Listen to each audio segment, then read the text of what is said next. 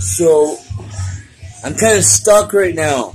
I'm trying to figure out. I know there's a certain sequence to bring these guys out of this time standstill.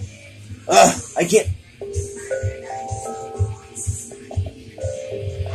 Only FS knows the secret, and he's stuck. Uh, I don't know. I gotta figure out what FS would do.